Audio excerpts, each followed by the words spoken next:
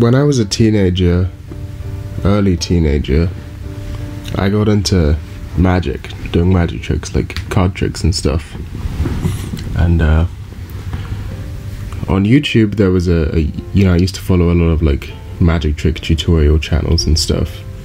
Obviously, this would eventually transform into me getting into cardistry and then a whole bunch of other stuff. But back in the day, one of the most popular magic trick tutorial channels was called Scam School. And uh, the host of Scam School, which was a, a show where they would teach a, uh, the social engineering and the barring on the street, as they called it, which was mostly bar, bar tricks and, and stuff like that, magic tricks. Um, the the host of the, of the show was a guy called Brian Brushwood, um, and I really like the show. I still do. I still go back and watch old episodes. It holds up really well. It feels like a kind of like an early two thousands TV show condensed into like five to ten minute videos. It's very it's very fun to watch, and you learn like fun tricks from it. Although maybe don't actually watch it because then you'll figure out half of my entertaining logic puzzles and stuff that I know. But anyway, Brian Brushwood then went on with his friend Jason Murphy, who was also occasionally a guest on Scam School, to make uh, a new YouTube channel together called The Modern Rogue, where they sort of broaden out their horizons from just magic tricks and bar tricks into uh, sort of learning to become the the perfect modern rogue scoundrel gentleman type of deal. Um, they do a very very wide breadth of stuff on the channel, uh, and so of course I like hopped on really early. I was like one of the like I subscribed after their first ever video, and I've been watching them ever since pretty much. Now, these days I wouldn't call them one of my favorite channels they, they've kind of run out of stuff to do, um, and they've they've kind of fell off, I would say, uh, in the past couple years. Before they had a good run, and they, they still make good videos from time to time. You know, I'm not saying they're all bad, but there was a while where it was in, entirely bangers after bangers. Anyway, this is all to, to say in a very convoluted way that they once made a video about uh, Chinese tea um, and this is the video of theirs that I've watched three times at this point. The first time I watched it was when it came out. Then my friend Horolov uh, is into Chinese teas, and so I went back to watch it out of interest in Horolov's hobbies.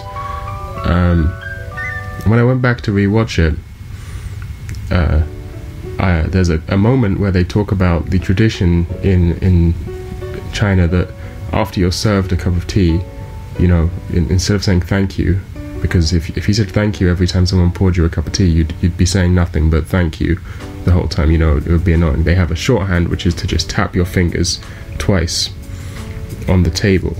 And uh, there's a legend about where this comes from, which is that one time the emperor wanted to be among his people, so he, he put on a disguise and with his bodyguards went out into town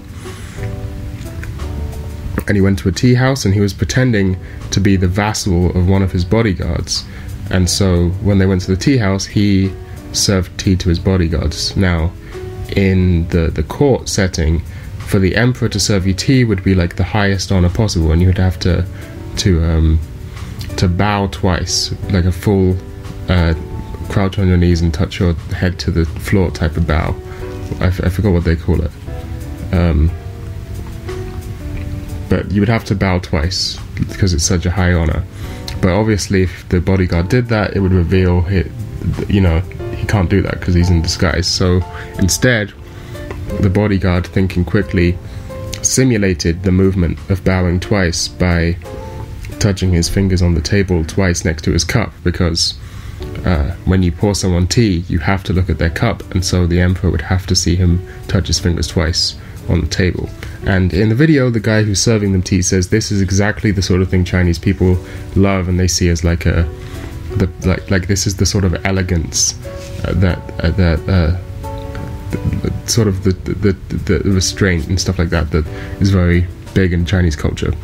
Anyway, that sort of impressed something upon me because I was like, yeah, that is really cool. And so then that story randomly popped into my head a, a little while ago, couple months ago. And because I remember that story, I decided to go back and watch the video again. They actually made two videos at the same place. One that was more of a like a very beginning introduction to what like tea, and then one that's a, like goes slightly more in depth. So I watched both of those again, and in one of those videos, another thing that they say is uh, they're talking about tea culture in China and how like the the whole family drinks tea together or whatever. And uh, Brian Brushwood says something like something something, and then they argue about politics or whatever, and then corrects himself like, well, actually, wait.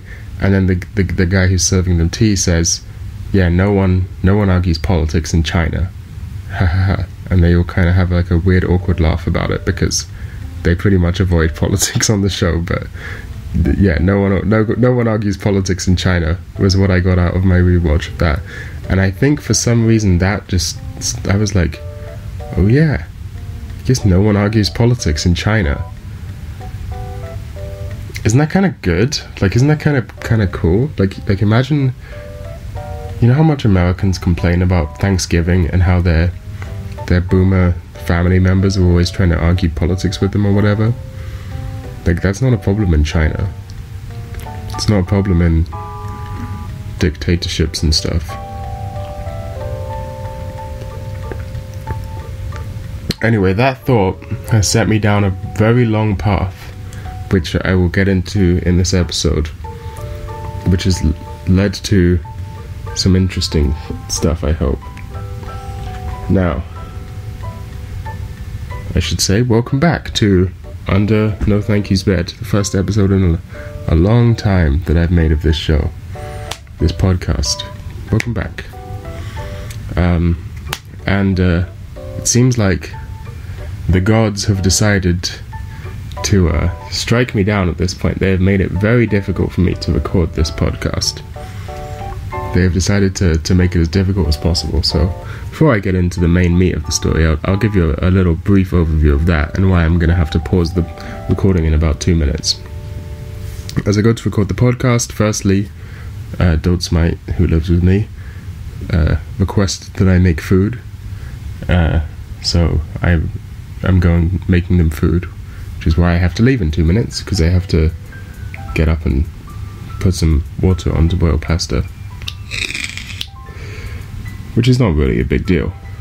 The more annoying thing is that I was like, well, I need some music to put on in the background. Now, the tradition for these types of videos is the Guts theme, going all the way back to the legendary old days of the Digibro decompression chamber when they uh, used to use the the Guts theme from Berserk um, in their in those videos.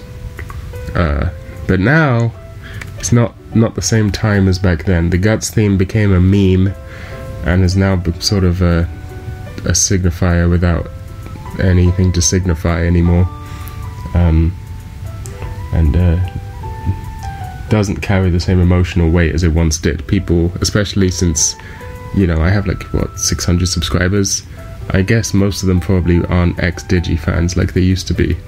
Um, so they won't get the reference. And, um, there's not really any point. They'll just think I'm using a dead meme, or I will just think. I, I mean, I literally will just be using a dead meme. It doesn't matter, and I don't feel the same way about Digi as I once did. So the guts theme isn't going to do it. I thought about using, it, but the, the comfy music in the background is kind of a big part. So I was like, maybe I'll use some video game music, but then uh, I couldn't find any good video game music. So then I was like, oh, I'll just use an anime OST, anime background music what anime is going to have comforting background music? I guess Sketchbook Full Colors. So that's what you're hearing in the background. So I go to download the Sketchbook Full Colors OST. Now it's only available in playlist form. Oh, that's my alarm. Be right back to. I have to put pasta on. Okay, I'm back. So, uh, this OST, right? This was the pain. So normally, if I was on a reasonable computer, uh, what I would do is FFmpeg, or actually, uh, YTDLP dash dash extract dash audio space dash dash format. Uh, wait, no, dash dash audio dash format uh, space MP3 space, and then the, the playlist URL. That's what you do to to download uh, YouTube videos with MP3 format. What it actually does is download them as WebMs, then convert them to MP3 with FFmpeg. Uh, but anyway, so I go to do that on my Mac because I'm like Macs are just are Unix machines, right? Like Macs Unix. Uh, like I'm sure that'll work. So I homebrew install. Uh, I go to homebrew install YTDLP, uh, which doesn't work for whatever reason. So I install it with. Fortunately, on their their GitHub, they have, you know, you could just, I just installed it normally through curl or whatever, and then making it anyway. So I do that, and then that works flawlessly. And it downloads all the videos as WebMs, but I, it, it, saves them as WebMs. It doesn't convert them. It's like, oh, you don't. It spits out an error message like, oh, bitch, you don't have FFmpeg on this computer. I'm like, oh yeah, of course, I don't have FFmpeg on this computer. So I'm like, that that shouldn't be too hard. So I look up FFmpeg Mac. I go to download it. Go, and it's like, oh, you have to go through a whole fucking process to install it it's a, it's a really it's kind of an annoying process like manually uh, copying it or moving it to USR local bin uh, or USR local bin. I don't know if the I always say the USR as user. I don't know if it actually stands for user. Uh, I should probably find out because I just always call it user but anyway. Um, so I, yeah and it's really annoying and then even after all of that it doesn't work. Uh, I don't know why. It's just annoying. And then at that point, I'm like, it would probably be faster to just do this on my ThinkPad and uh, like up, like like just copy it over to my Mac than to bother figuring out why FFmpeg isn't working. So I just do that. I just download it on my Mac, and it takes like five seconds. It's very fast. And then I'm like, okay, now I should put it on some. How do I transfer it? I'm like, best way to transfer files easily I'll just upload them to catbox.moe um, or litter.catbox.moe because I don't need them permanently. You know, I just need them short for a short time. So I go to do, I go to do that. I'm like, okay, so I should probably zip them first. Now, I I have like used the zip command like like twice ever. I, I've unzipped many things, but I rarely need to zip things. You know, normally I go to do it in the GUI in um in Thunar because I'm like probably faster to just like select them with a GUI and, and right click create archive instead of you know the whole thing. So I go to do that, doesn't work. Thunar's like no archive manager found. Um, I don't know why I'm using Thunar to be honest. They're actually significantly better. It's because I almost never use the graphical file manager. I pretty much exclusively use LF as my file manager on my ThinkPad. I, I rarely have to use a, a graphical file manager, so so I don't really have it set up very nicely. Anyway, that doesn't work. I try and look up why does this not work, and uh, the answer, like the the stack, the like the best voted Stack Overflow answer is just like omits important information. And I'm like, okay, fuck this. This is not worth it. Let me see if there's an easier way to go about this. I can just use the zip command in the terminal. So I try that and then I'm like, oh wait, I just realized I have no idea how to do this, so I have to man zip and then read through the entire fucking man page and then I go to do it and I'm like, oh nice, okay, it worked. Upload it to Catbox, ship it over. Oh wait, all I did was zip a f- like an empty folder and not the actual files. Fuck. Okay, go do it again, and yeah, then I finally had it, uploaded it, downloaded it onto the Mac, dragged it into Logic, and now here you are hearing this nice background music. So that was a fucking pain. Not to mention, all of this is every bit of typing on this Mac is just hell because uh, the the the S key doesn't have a keycap.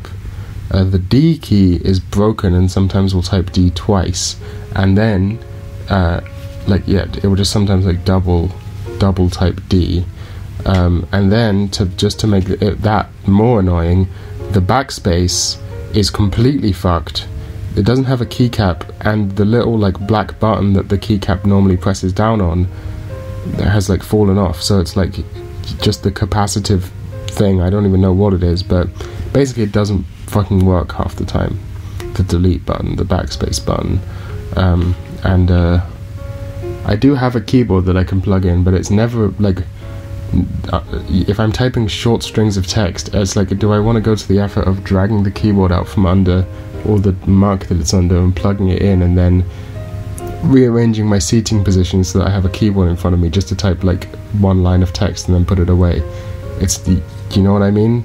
Like it's just kind of more hassle than it's worth, so I just deal with the, the shitty delete key situation.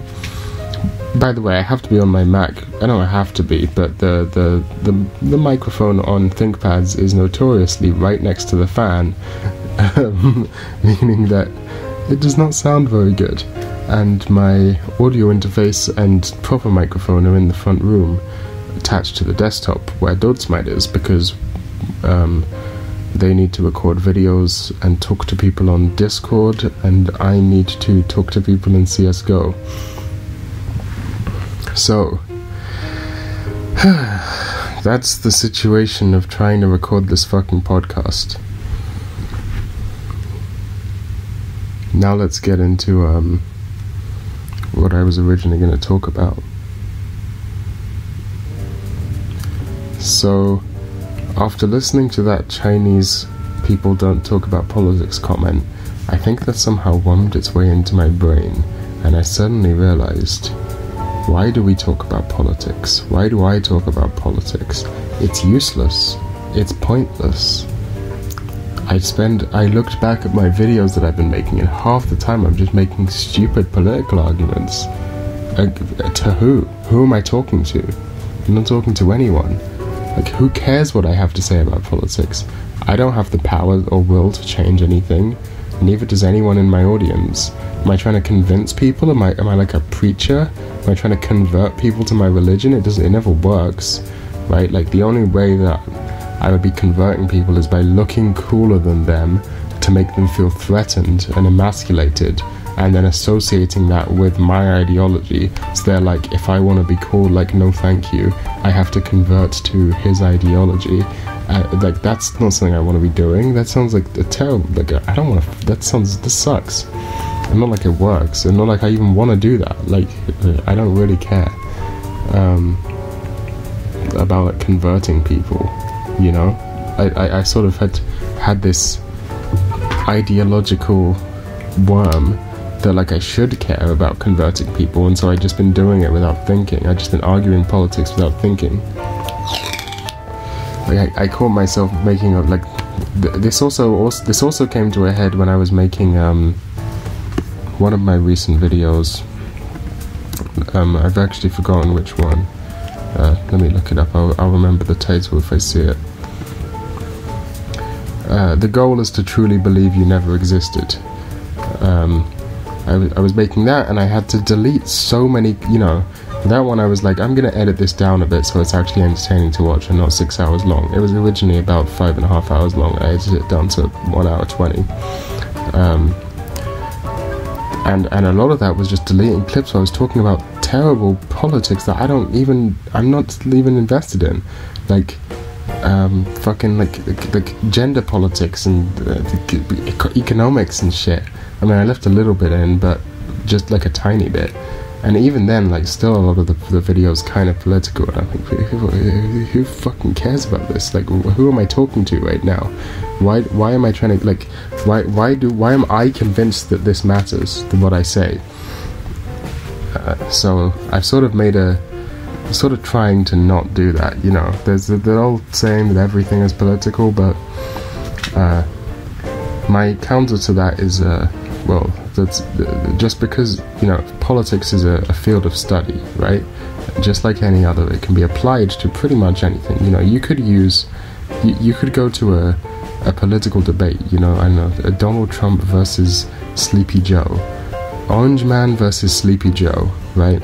And and you could you could go there and and you could analyze the airflow, the, the the fluid dynamics of the air as it leaves their mouths as they're talking, and you could do a really detailed analysis of the physics going on there. But that wouldn't be relevant, right? Like that wouldn't. Uh, you know, you, you would get true factual data by doing that. You you would get data, but it wouldn't be useful data. It would be it would be that would be an improper thing to do, right? You wouldn't do that. In the same way, you can talk about the politics behind anything, but that doesn't mean it's actually relevant. That doesn't doesn't mean you have to do it or you should do it or it's useful. That would be improper. You know, you, you it, it's not just because you can do it doesn't mean it's always useful.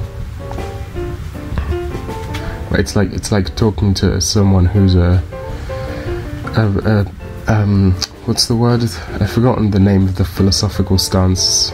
Like, like a universal nihilist or whatever, like someone who believes that the universe isn't real, basically, or that like, yeah, someone who believes that the universe isn't real, and like you, you could talk about any any subject with them, and at the end of the day, you know, they can just say, well, none of it's real anyway, so I win, kind of deal. It's like, yeah, but that's not like the proper time to bring that up.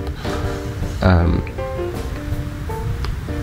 so so I think the argument of like well you talk you end up talking about politics because politics is at the root of everything isn't true you know. If anything physics is at the root of any of everything um, and we don't spend all of our time talking about physics so why should we spend all of our time talking about I wish we spent all of our time talking about physics. I, I now I'm, I'm hella willing to spend my time converting people to my particular interpretation of quantum physics. I, I'm so happy to do that. Uh, but we won't right now. Uh, anyway, doesn't this song sound like a um, a song from Fooly Cooly? I I can't. I remember in the anime hearing this and being like, "Is this is this a cover of the Fooly Cooly song?" You know.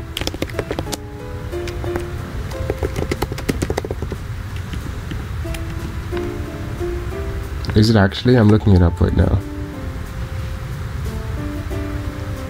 Apparently, Watashi no Jikan is the name of the song, and apparently there's a Hatsune Miku song by this name. Is it the same song? No. No, this is a completely different song. Watashi no Jikan, I believe, translates to my time. Anyway, so then I was sort of thinking about this, right? This sort of politics is useless to think about. Like, the, uh, I've always known this, right? And I've always said, well, you know, even though it's useless, it's if if you find it fun to research and discuss and debate, then by all means go for it. And I sort of realized that I wasn't having fun, and I don't think anyone really is.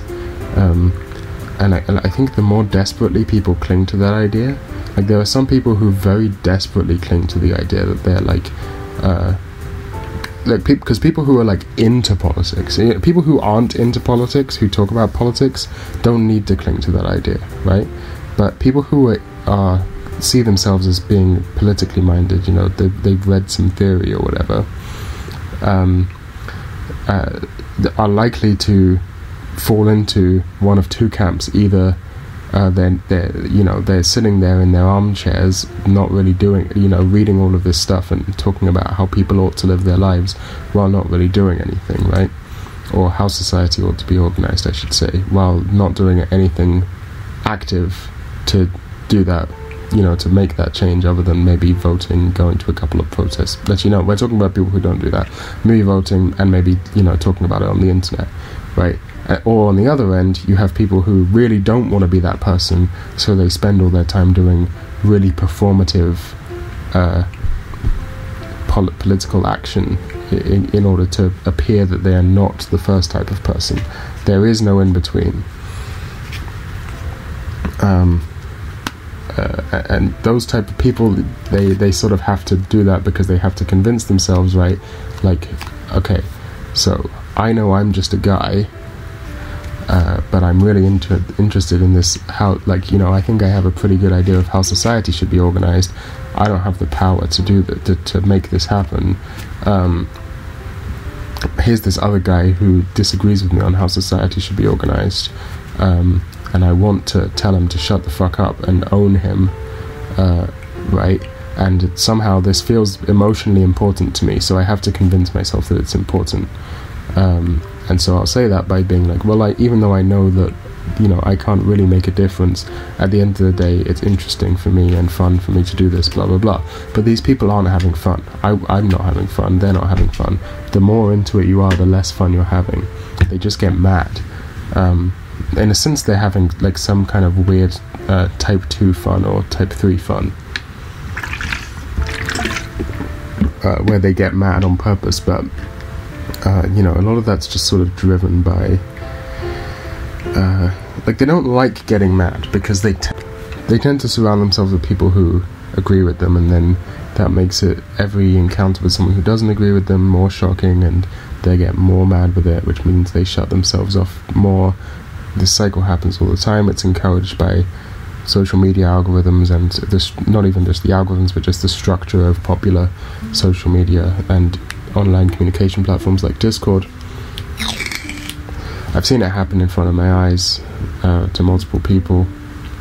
Anyway, politics is a bad rap. You don't want to get into that stuff. It's worse than it's unironically worse than heroin. Uh, you'll you'll end up because you know heroin only harms you, but if you get into politics, you you you, everyone has to listen to your you being annoying. anyway, uh, so that thought happened to me, and I was like, I need to stop fucking going on about politics and like like I became very nihilistic about the whole thing. Sort of like you you can't. Ch- oh, I just slightly broke this thing. Okay, it's not it's not broken. It's fine. Um, but uh, so but yeah, that happened, and then that sort of led to me going back on like ideas that I've previously had but not had the balls to dive into properly, which is how unimportant uh, sort of political action actually tends to, tends to be in the grand scheme of things. Like, I was I, I often think about a couple of things like um, the big two I go to is the Enlightenment and the feminist movement. That like the feminist movement was. Uh, mainly a product of industrialization and the sort of jobs that people could do now, and then a product of accessible and reliable birth control, and a product so and a product of um, uh, tech like like widespread technology that took uh, household made household chores m- more simple, like the washing machine, for example. So essentially, the birth of the feminist movement. I know, obviously, the suffragettes and stuff were earlier than that, but uh, the birth of the feminist movement, uh, as we know it, uh, was was pretty much predicated on technological development uh, and came about as a consequence of that, rather than uh, as a consequence of uh, women are oppressed. You know, because you you always have to think about. Well, if women have always been oppressed, why did it take them until the last couple hundred years to start talking about it, how that's bad? they didn't have the, the opportunity to do so before te- technology and other inhuman factors they didn't have control over set up the conditions for them to do so. Um, and the Enlightenment I, um, was pretty much caused by the plague uh, happening. Uh, or you, you don't have to call it the. En- Sorry, did I say the Enlightenment? I did say the Enlightenment. I don't think I meant the Enlightenment. I think I just meant, like, generally speaking, the end of feudalism, not the Enlightenment. That's a different thing. Sorry about that minor mistake. Pretty big mistake, actually. anyway, I meant the transition from feudalism to capitalism was a product of uh, two things uh, the Black Death killing off um, a, like a big chunk of the workforce, meaning that individual work. Well, three things actually. It was a product of three things. Uh, the Black Plague killed off a large number of workers, meaning that individual workers suddenly had much more labor power. Uh, you know, like it's harder to replace someone if there are physically less people. That was the first thing. I'm gonna have to go in about 13 seconds 12, 11, 10, 9. Okay, uh, I will come back to this in a second. Okay, that's done. Hopefully, there should be no more interruptions. What was I talking about? Okay, so the plague killed people, that led to an increase in individual workers' labor power. Secondly, um, the the the gra- like just due to unforeseen economic circumstances leading to the gradual accumulation of wealth in the merchant class. Um, just yeah, by basically circumstance, like by by coincidence, not due to anyone actively trying to do that. And then uh, the third thing was uh, what was it? Oh yeah, cheap steel, uh, technological inventions that led to uh, steel becoming much cheaper to produce. Those were the three things that led to the Industrial Revolution. Uh,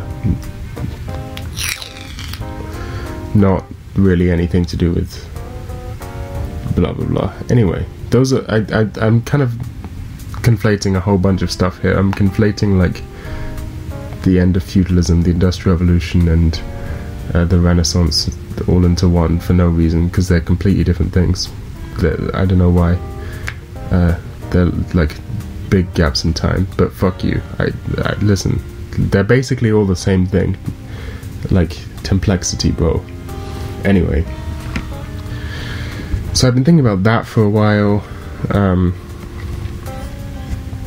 and this has sort of led me to to the position of like,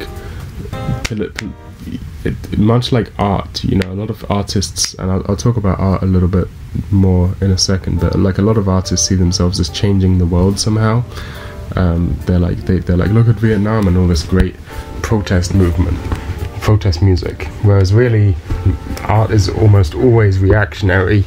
I, there basically has not ever been art that has sparked a revolution. It's always only documented or responded to one. Uh, and I think now you could say there's never been revolution that sparked um, these shifts in these inhuman circumstances. It's always inhuman circumstances that spark political change in the first place. And really, if that's the case, then what use do political movements even have if they're just responses to these things that we don't have any control over, uh, as individuals at least? Um, you know, can they even be said to be real? like, can they be said to be authentic movements if they're just responses to natural circumstances that that are out of the people involved's control, I say no. You know, not only should I not talk about politics, but no one should ever talk about politics because it doesn't do it. Like, politics isn't what changes the world. Uh, like, the invention of, I don't know, the internet has changed the world. The everyday people live in much more than any economic policy ever has. And um, I know some people might respond to this segment by saying, well, technological change can only happen under the preconditions uh, the, where there is economic viability for so the research and development to take place or whatever. Um, but but those econ- but those preconditions themselves are only engineered by outside forces, not by conscious actors. So that happened. So then I went through this phase. And then that led into ants. And um, this realization that conscious thought or consciousness, intelligence, human intelligence is you know, we as humans like to think of ourselves as very intelligent, and this sort of like that's our special trait, you know. Like all, all these other animals, like cheetahs can run fast, peregrine falcons can fly fast, blue whales are big, uh, bears are strong, um, blah blah blah. But humans, we're the smartest, and that's what makes us special, and that's the most important thing to be is the smartest, and so that's why humans are the best, right? Like that's how we're the top of the the the, the tree. Um, and uh, to an extent, obviously, that's very true. Um, however, I had a realization that like a lot of the stuff that is attributed to human intelligence should really be attributed not to conscious thought or intelligent thought, but it's rather a, a, con- a, consequence of human sociality, not intelligence. Right? Like you look around yourself at the world, you walk outside of your house for once, and you see paved roads and, and big skyscrapers and shops with supply chains and lampposts and computers and Wi-Fi signals, and you're like, wow, human intelligence sure has had a massive impact on the natural environment. But all of these things were really consequences of human sociality rather than human intelligence. Like uh, ants also build a very big structure. Every, every, all the, the highly social animals, right? Like the, the, the eusocial animals, like ants, bees, wasps, termites, etc. They also build massive megastructures, significantly better than humans are at it. Like they they um uh, like termites are crazy good at building shit, and so are ants and, and bees. Like uh, beehives are very complex structures. Uh, uh, anyway, you know, other use other highly social animals are also capable of doing basically the same shit humans do. You know, like ants, like, like uh, humans are like we're, we're so smart. We invented buildings and agriculture.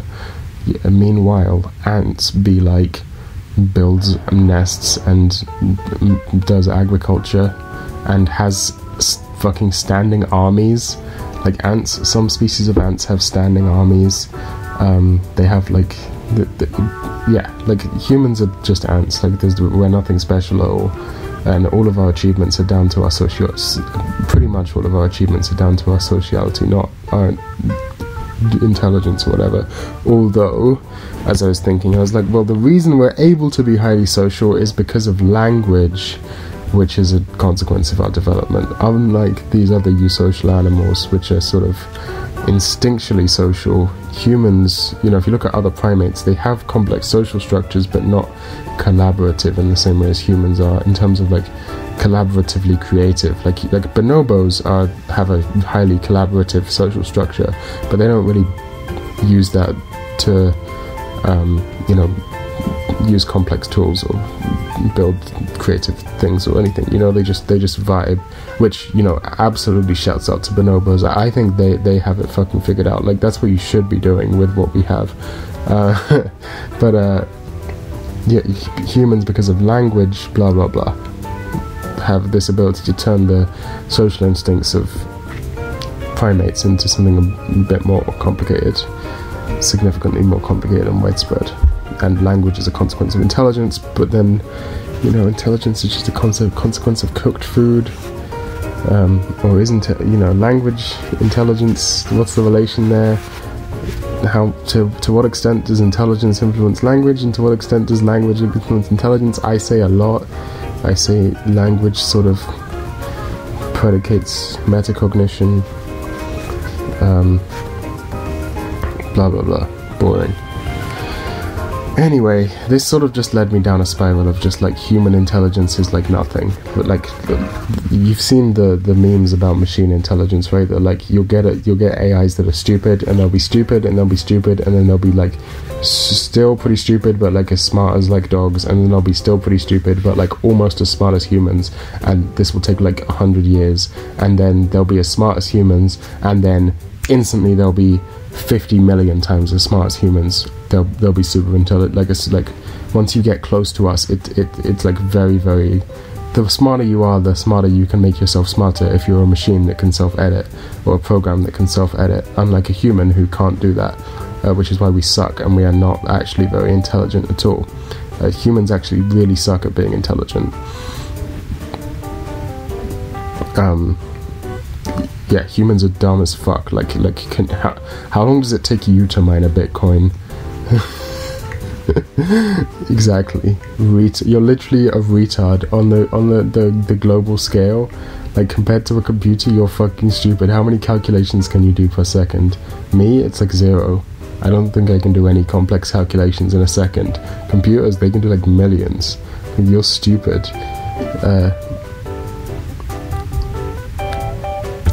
anyhow, the only remember when I said I'll talk about art in a bit. this is the this is now we're now in a bit the only time thing that humans do regularly that's impressive and notable that actually is a result of intelligence and not just sociality is art. Um, uh, and so I think that's probably why people like Deleuze like art so much. It's probably related to that. I'm sure someone who's read more Deleuze than me is going to be like, no, it's actually because art is like something else or whatever. But whatever. Fuck you nerd. But I think it kind of comes down to that. That art is like the single creation of humans that is actually due to our intelligence, not just our sociality. Which is, you know, generally speaking, I think people think of sociality as a side effect of our intelligence, but maybe it's not, maybe it's the other way around. Maybe we're intelligent because we're social. But then there's a bunch of highly intelligent people who aren't highly social sociable. I don't know. You can't like measure intelligence, so it's kind of ridiculous to even like because because everyone looks at it from an anthropocentric point of view, right? Where they're like they see a great book or something or a great movie and they see that as like highly intelligent, right? They see like like I would say I don't know Ozu my favorite director. Yeah, my I, my favorite director is Ozu. Yeah, I've seen a couple movies in my time. Like like, I look at that and I'm like, a, a genius made. Like I look at one of his films and I'm like, a genius made this. And if a genius made this, that must mean someone very intelligent made this. And machines can't do that. Therefore, uh, Ozu is smarter than any computer. But that's just based on a value system that's basically based on a moralistic value system that is completely subjective. If you look at any objective measures of intelligence, anything that could be objectively measured to be intelligence, which means something that's actually tangible and real, uh, humans are bad, bad, bad. Like even compared to other animals, humans are often bad at it. Like there's there's monkeys that can do stuff with numbers and the short-term memorization significantly better than humans. Uh, there's there's uh, dolphins and and um, uh, sperm whales that can do stuff significantly better than humans, but that just tends to be stuff we don't value because we haven't built our cultures around those because we're not good at them. Uh, whereas machinic culture is going to be based around stuff that machines are good at and not stuff that humans are good at. And maybe that's economization or something. I don't know. But this sort of just led me to completely devalue human intelligence as something remarkable or notable or valuable in any way. And uh, that's where we're at now. Just like, th- th- this stuff's useless. You, gave me this brain, and for what? Uh, you know, not that that affects me in any way, but there you go. That's just the conclusion I've come to. It's just this sort of whatever. I don't know. Is nihilism, pessimism, I guess, regarding the supposed intelligence of the human species. I don't think any intelligent creature would. I mean, I'm not. This that's actually kind of a gay hippie thing to say, so I'm not going to say it. But anyway, uh, on to completely other subjects. How long have I been recording for? 43 minutes? I have until I run out of Sketchbook Full Colors OST, and maybe longer. You know, people, long podcasts are good. Podcast, put it on while you're working out or something, you know? It's a podcast. That's what they're there for. They're there, they're there to put on while you're doing other stuff. Um, yeah, I don't really have a conclusion at the end of that. I'm trying to think of the like. I guess that's just the conclusion. Is most of just a sort of post-humanism that I'm always doing. You know, not not anything particularly special or interesting. Just in a bit more of a thought-through, reified way. Anyhow, remember when I said put this podcast on when you're working out? Remember that epic moment when I said that two seconds ago? Oh, those were the days. I have started climbing, rock climbing, sport climbing. Actually, not sport climbing, bouldering. Uh, with some some people I know in real life, and uh, I gotta say, those boulderers and rock climbers that you see on the internet that are good at it, like Magnus Midtbø and Adam Ondra and Alex Honnold, like, like damn, that shit, they're they're really good. like, it's not a joke. Uh, but anyway, particularly Adam Ondra, he's like actually good. Uh, I mean, they're all they're they're compared to me, they're all actually good. I mean, they're all top athletes. I don't know. Let's not to, to get into this. Anyway, they're they're all great. They're all incredibly. All the top level athletes are, very skilled in every sport. I, I, but climbing, I've been going climbing, and I've been also trying to exercise just more in general. I have a pull-up bar uh, that I do fake half pull-ups on because I can't do a full pull-up, which is very inconvenient given that the sport I have chosen to pick up is climbing, which is maybe the sport in the world where pull ups are the most important, other than a pull up contest. Uh, like the the muscles that you use to do a pull up uh, in climbing are like very important. You need all of that. You need shoulder strength and grip strength in climbing, and that you also need like those are very big deal, especially grip strength. Uh, like top level climbers' grip strength is just absolutely insane. Even just like it doesn't have to be top level, just like good climbers just have insane grip strength, which I do not currently have. Uh, so I'm doing like weak ass um, baby pull-ups where you you sort of like you you get under the bar and you, you keep your feet on the ground, but you go like diagonal, so you're like leaning back and like holding yourself. Because I can't do a pull-up yet, right?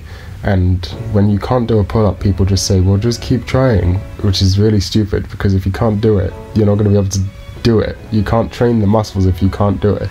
So, to train the muscles, you have to start from a, an easier version of the exercise, which is these like pull ups where you're sort of like your heels are on the floor, you keep your core engaged and like your, your, your body straight. It's sort of like imagine doing like an upside down push up. like like you, you sort of like lean back and hang from the bar above you with your feet like on the ground but not yeah, and then you like pull yourself up like that, and the the further forward you put your feet, the harder it is basically.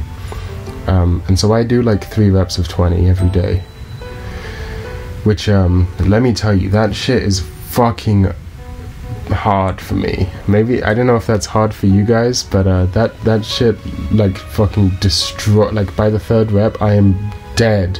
Like my arms are dead, my shoulders and especially just fucking fucked. I think I have really weak shoulders. Um, my biceps are pretty bad, but they're not like that bad. I mean, they're bad. Don't get me wrong. Um, but like oftentimes it's my shoulders that let me down. But that's why we train, I guess. There's that manga panel that sticks in my brain, which is like I don't know what manga it's from. I've just seen it on 4chan a bunch. Which it's like a manga panel of a, a guy, like he does it doing like a really high kick, like like all the way up to like a like a full scissor, not a scissor kick, but like a full up vertical kick up to his head, basically. And uh, the, the the the it says um, the only thing we truly own is the body we shape every day. And I'm like, yeah, yeah, that's true. Um, sort of but uh, ideally. This isn't me turning into a fit guy, by the way. Like, people on fit tend to care a lot about the aesthetics of their bodies. I don't really care about the aesthetics of my body at all. Um, in terms of like my my aesthetic goals for my body, I just want to lose some weight. Um, I don't care that much about lo- like looking good aesthetic wise, but like I'll talk more about that in a second. Anyway, I, I would like to lose some weight and I would like to build my arms and shoulders out just a little bit, not crazy, just so that they look more proportional to the rest of my body. That's literally it. Every, that's all I care about in terms of aesthetics. But I could never drive myself to actually do something just because of aesthetics, because at the end of the day, um, you know, it's not something that matters that much to me. I go outside wearing pajamas on the regular to to the shop or whatever. Like it's not something that matters to me how I look to other people. So, um, but climbing is actually a good way to motivate myself because it's like a video game. You know, there there are like levels. Like uh, the bouldering grades go from V zero all the way up to V thirteen or something. Um, and so it's like you go there and you can see yourself improving by by climbing different grades which one's are difficult for you. Um, I think I've only ever. I think the best I've done is like one. I've I've climbed a fairly easy V three once, um, but I would put myself at V two level, which uh, is pretty bad. However, I, if I was to make it one excuse for myself, I would say uh, the rented climbing shoes at the climbing gym they suck ass. Um, if I had a proper pair of climbing shoes, I think things would be like smears would be a bit easier for me, um, or like these like weird little awkward, tiny little to- footholds. Anyway, that's an excuse. At the end of the day, I need to train harder. But after a session of climbing, it's just you're so fucked. Like I, I know about other people, but I'm so fucked.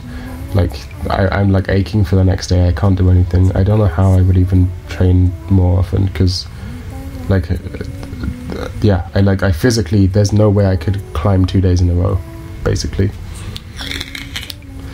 uh, so looks like i'm gonna run out of sketchbook full colors ost before um, i finish recording this podcast uh, hmm i should download some more music anything in, what can I think of that would be good? Do I have something on my computer that I could just use instead of having to download something? Let's see. Oh, I, I probably have the, um, let's see, the Umi Kawase OST. I always use that, right? Uh, where would I have saved that?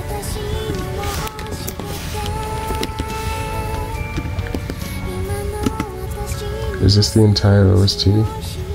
That's only 17 minutes. Alright, well, I guess we're gonna put this. Then, fuck it. Who's gonna stop me? Did it work? No? Where did it. What the fuck? Where did it go? It said it was importing large audio file and then just didn't import. Oh, I probably have to stop recording. Okay, that seems to have worked. So, climbing. Yeah. Uh, I'm going weekly. Uh, I, I was gonna say just stuff about it in general. Uh, the end of the OST. Now we're on to. Anyway, um, so yeah, bouldering. Um, lots of cool terminology. Uh, it's fun, I think. It's fun to. It's taken me. Oh, I'll tell you one thing. My whole life, you know, people have always said, like my, for example, my dad is like a, a runner. Like he he runs um, marathons and stuff. Uh, not not he's he's not a, mainly a marathon runner, but he's like a long distance. He runs like um, 10ks or whatever. Uh, pretty damn like multiple times. He's a, he's a pretty big into long like running. Anyway, like people like my dad and and everyone has always told me that like uh, and science as well has told me that like when you do exercise you get these endorphins that make you feel good you know like like when you like uh, i don't know are exercising in some way like it like it hurts but it feels good somehow and I have never in my life experienced that. I when I was a kid, my dad made me do a bunch of like sports, kind of. Like I played tennis a lot as a kid. I had like a, like tennis lessons as a kid, and uh, there was a brief time when I was doing like some some trampolining as a kid, uh, like like gymnastic trampolining on like proper Olympic trampolines, and I was I was kind of cracked for a while. Like like I would always go to if I had like a friend who had a trampoline, I would go there and pull out like the back full twists and shit, and they would be like, "Whoa!" I think there's no way I can do that anymore. Um, but yeah. Uh, and uh, other sports as well sometimes. Uh, very briefly, some football, obviously, because I'm British, uh, although I, I, don't really like football. Um, and uh, very briefly, jiu jitsu when I was really quite young, but I got bullied to shit by the other kids in the club and hated it. Uh, and climbing for a bit as a kid, which is why I knew about it and thought it would be interesting.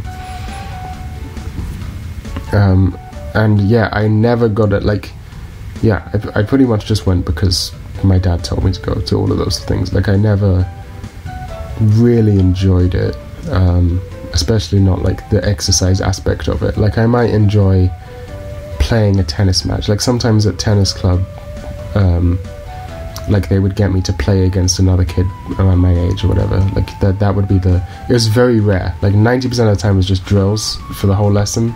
Um, but then like once in a while it would be like player match like your lesson for today like once every couple months it'd be like okay today you just have a tennis match against this guy and that would be like sick. I would lose every time because i sucked.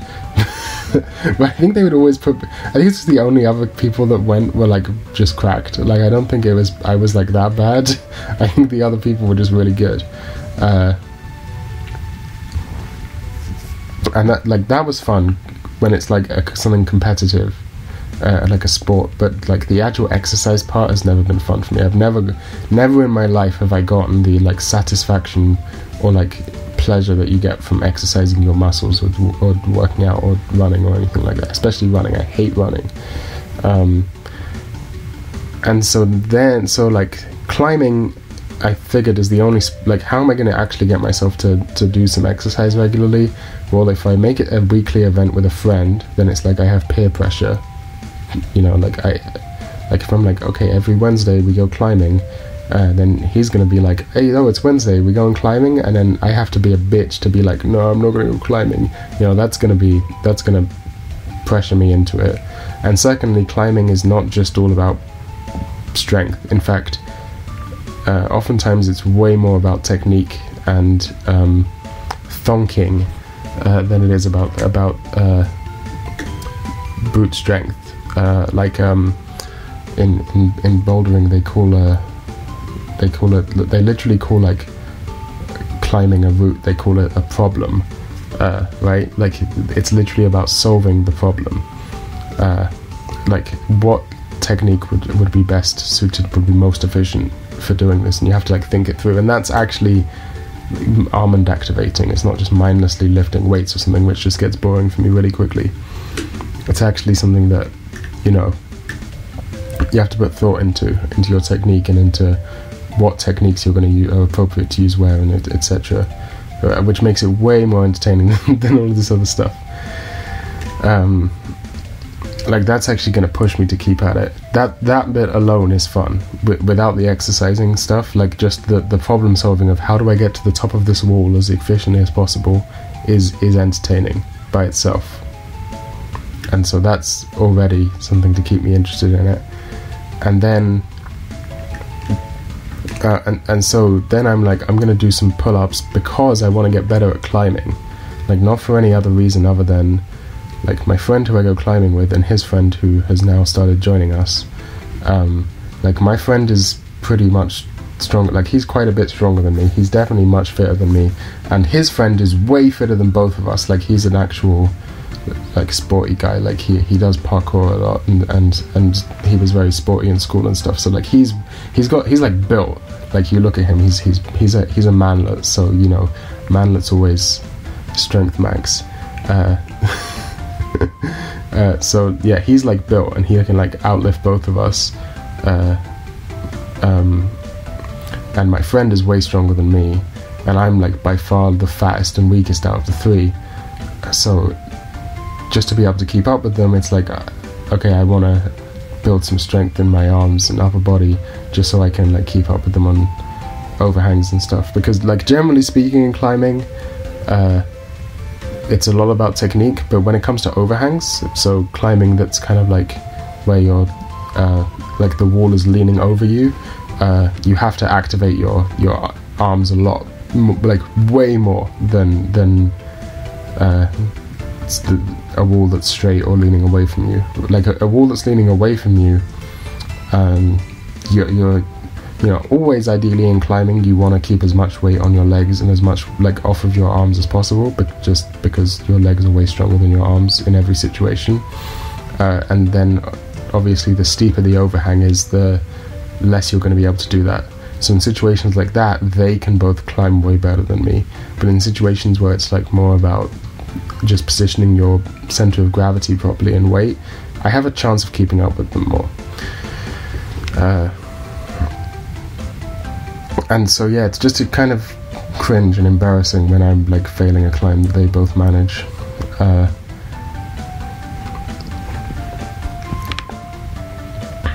so that's why I want to do learn to do pull-ups, just because it's always been embarrassing my whole life that I couldn't do a pull-up you know, there was a time when I couldn't do a push up, and push ups are way easier to learn than pull ups. Like, it, took me literally a week to learn how to do, like, to, I don't know, get it in my body how to do push ups, and then since then I've never not been able to do push ups. I don't know how many I can do now. I, I, I don't remember, but I can at least do push ups to a reasonable degree. Uh, but pull ups I've never been able to do.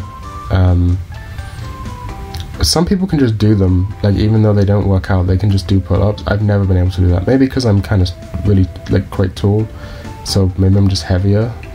I don't know. But uh um so yeah it's a good opportunity to learn. I'm about halfway like i can do about half a pull-up right now um or chin up whatever you want to call it. I can do a, I, at the start i could lift myself about if I was like hanging off of a bar, I could lift myself about one centimeter. Now I can lift myself until my elbows are like a um, like an L, like a, a, right angle, but I can't really go further than that. Uh, possibly because of my training technique, like because of the like I don't really practice that.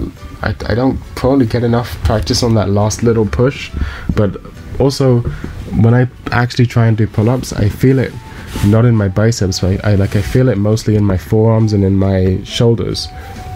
I think it's mostly about that I just need to train my shoulders more, and the best way to train my shoulders more is to just keep practicing these pull-ups. So that's what I'm going to do. And then that'll make me better at climbing, hopefully. But anyway, back to what I was actually saying. So because I can't, I don't get any actual like endorphin release from from just working out on its own. That's why I picked climbing because it's something that's actually fun to problem solve, and that you know is something fun, even though the the, the exercise bit is just kind of a side effect. Blah blah blah. Well, it only took me like over a month of constantly working out, and finally in these last couple days when I'm doing my pull up practice and like pushing myself to the absolute limit of what I can do, because I try and put my feet like as far away from my body as I possibly can, so it's make it as hard as possible for myself. Otherwise, you don't build muscle.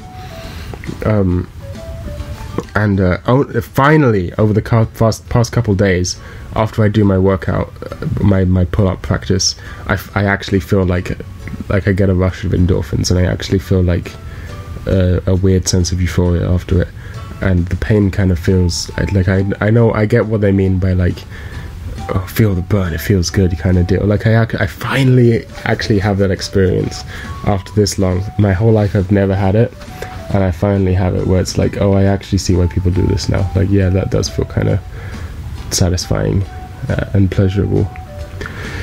I still don't think I'd ever just lift for the sake of lifting, um, just because it's so much effort for not really much gain. But uh, for the sake of getting better at climbing, um, yeah, that's good. I will say, like, one of the reasons I've never really been into, or was, I'd say one of the things I find like annoying about lifting, and which is oftentimes minimized in climbing, but not 100%, as I'll, I'll talk about. So, the, so the other last time we went climbing, we went to the, the steepest overhang. They have like a, a proper like cave simulation bit where it's a completely uh, horizontal section. Like it's like a cave with like a curve up. Like imagine, yeah, imagine kind of like a mini cave, and there's there's holes all along the side, and it goes completely vertical or completely horizontal. So you're like hanging properly upside down to like at some points.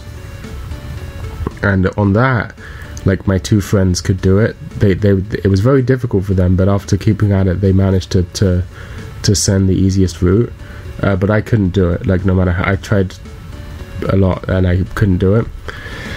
Um, and then I got really fucking mad because I was like, this is the stuff that I that's that's just a feel that's something that I don't find good at all. This is why I don't like games like RuneScape or even RuneScape isn't that much of a big deal, but I'd say just RPGs. This is why I don't like RPGs um, uh, in general. Uh, which is the I like, and I buy I like games like CS:GO and shooters like Quake and, and stuff like that, because like if I die in CS:GO or or Cruelty Squad or some other game I like, Mario 64, it's because I fucked up as a human. It's because I, in the moment, executed the controls poorly, uh, right? And at the time, like I, if I could time travel and execute it perfectly, then I could execute it perfectly, and it's just a matter of execution and, and knowledge and skill.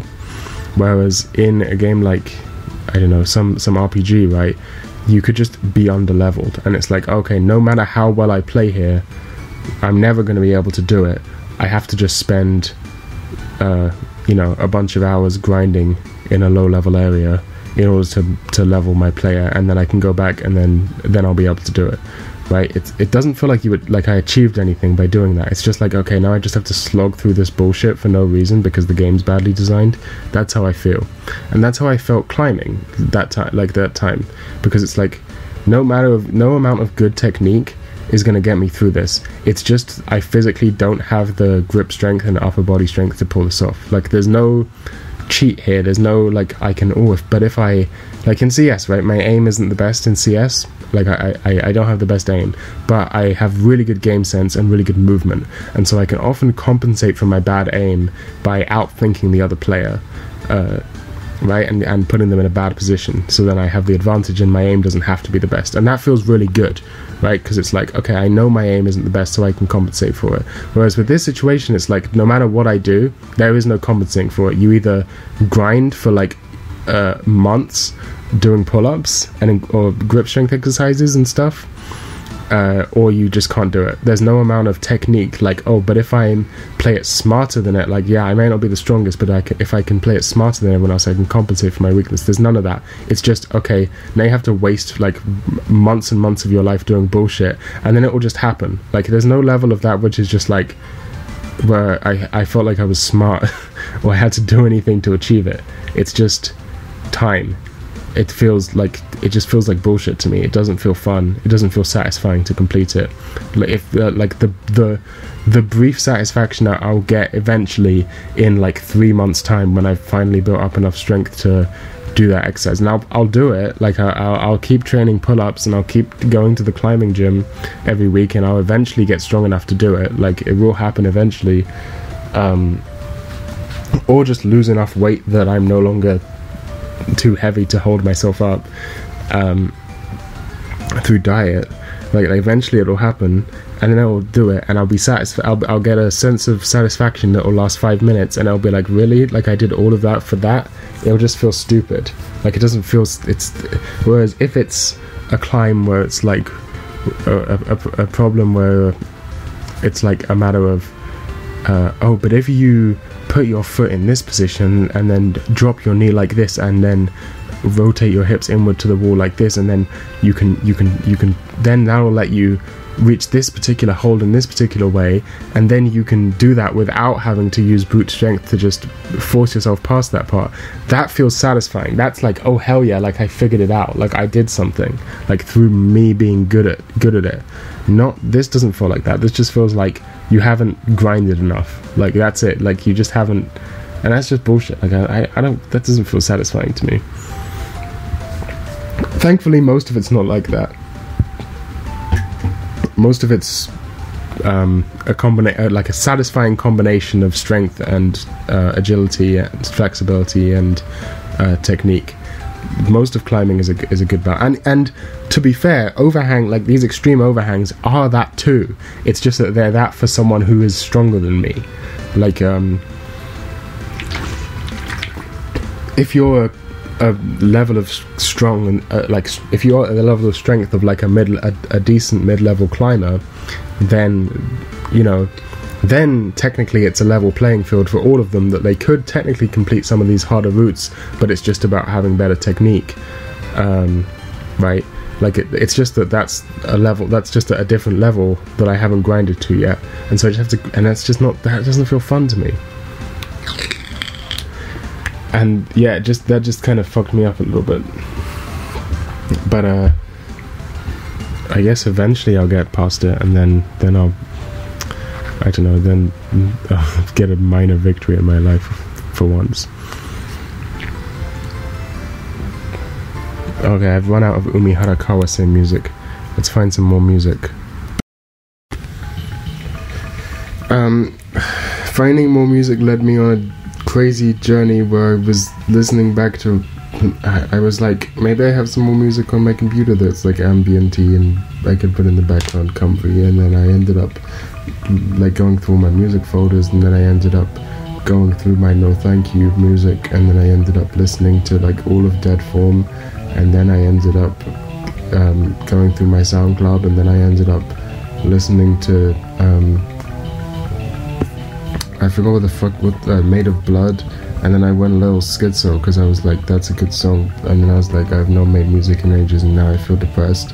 And I was like can I even still play bass guitar? And so I picked up my bass guitar but I can still play bass guitar so that's good. Um, but then I went a little fucking now I'm kind of going a little menhera and then I realized I don't really have anything else to say in the podcast anyway so I just put on this Benjamin's Dragon Millionaire song from my album Benjamin's Dragon Millionaire, and I was like, I'm never going to be able to make something as good as Benjamin's Dragon Millionaire again. And then I had like, yeah, this is like Sasuga artist first world struggles or whatever. And I was like, oh yeah, I said at the beginning of 2022 that I was going to make 2022 my lost year because I was like all the cool artists have like a lost year. I was like I'm to make make make my like a lost year on purpose. Like has anyone ever done that before? No, only me, only the coolest guy. No, thank you. So now this is my lost year, which is why I haven't made much music. But I actually haven't made much music because I'm fucking retarded and out of ideas. Because I had like one idea for the whole time and I kind of did it. And I had another idea and I did that too. So now I'm like out of ideas but I have like an aesthetic that I like, but I can't really do it. And then I've started making some music, but then I'm just basically fucking retarded. I'm basically the Shinsuke Kamata-chan of being a retard. It's just, this is just like Gobino's quest. This is the Gobino's quest of life. Um, so so now I'm stuck in my room uh, complaining again, and that's basically the end of the podcast.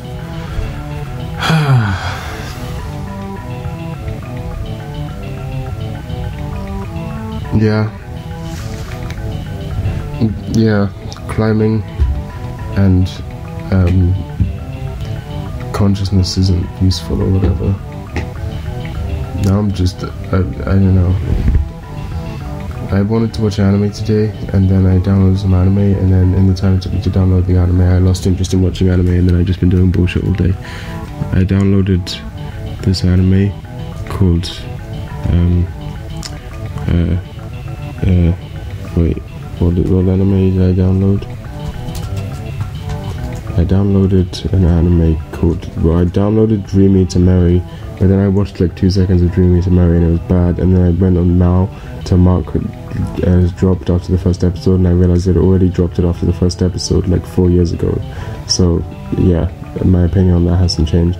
So then I downloaded Kanamemo, which is a show I dropped after like five episodes before and I was like, I'm gonna pick that back up because I actually, looking back on it, like I, I, at the time I didn't like it that much, but looking back, I have like fond memories of it. So I'm like, maybe I should keep watching Kanamemo. Um, and then in the time it took to download, I lost interest in watching anime. Uh, but now I kind of want to watch anime again. I have to just force it, and then hopefully it'll just like stick in my brain or whatever. I've been reading a lot of manga recently. I read um, can I get out all the manga I've read before the song ends? I read Shimeji Simulation.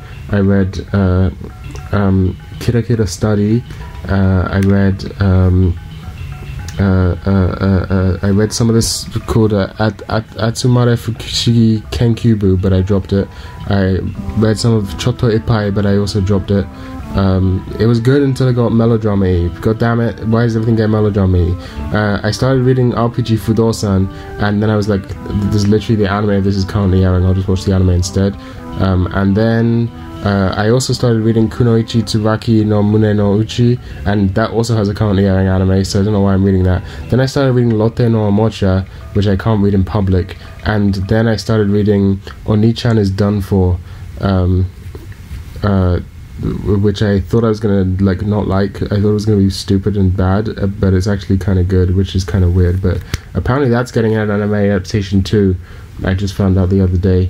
Um, so uh, there's that. That's the otaku update.